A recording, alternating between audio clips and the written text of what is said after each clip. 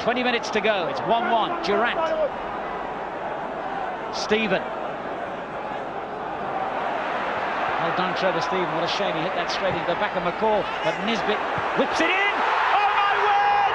It's a goal by Nisbet.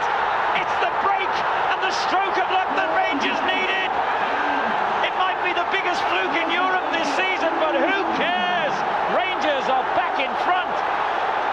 And who deny them that? And then he'll count that as a 1-2 with Trevor Steven. There goes Big Scott Nisbet, gets a little bit of slice on it. If he was a golfer, he'd have to get his right thumb round that a little bit more.